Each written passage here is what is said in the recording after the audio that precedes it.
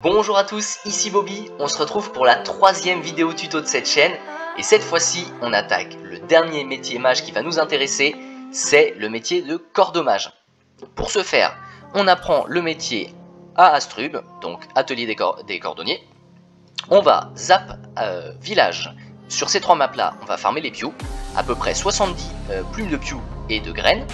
On fabrique 70 items pioux, ça monte level 10 et ensuite on se rend dans l'atelier des forges mages, forêt des Abrachnies.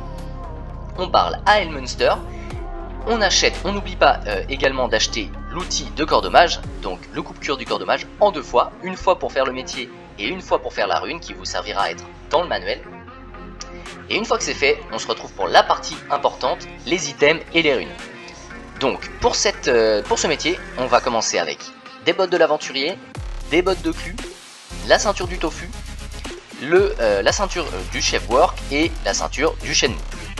Sur ces items, on va aller dans l'atelier des forges mages et je vais vous montrer comment on va monter le métier et les runes qu'il nous faudra pour ce faire. Allez, c'est parti. On est parti sur des ceintures. Donc, en termes de runes, prévoyez à peu près 3000 runes euh, intelligence, 3000 runes force et 3000 runes âge. On est parti sur les bottes de l'aventurier.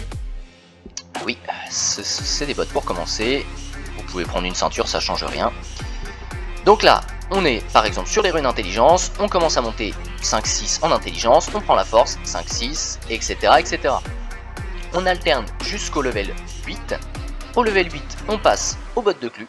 Les bottes de clou, on va alterner pareil, force et intelligence. Vous voyez, j'alterne intelligence, ça baisse, je mets l'effort, la force, l'intelligence augmente, et c'est parti. On fait ça jusqu'au level 22. Au level 22, on passera à la ceinture des tofu. Donc ceinture des tofu jusqu'au level 50, sur laquelle on alternera agilité et intelligence. Une fois que vous êtes level 50, vous passez sur le slip du chef work, et là vous allez alterner la force et l'agilité. Pareil, sur ces items, une fois que le, euh, jet arrive dans les 35 en force et en agi, vous passez quelques runes ça, ou une ou deux runes dommage, et ça fera redescendre le jet. Une fois que vous êtes level 71, vous passez sur le string automate du Shenmue.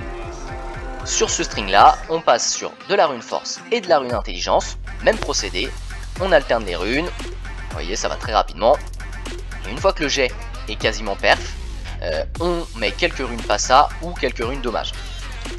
Une fois que vous êtes, et donc il faudra compter à peu près une trentaine de minutes pour monter level 100.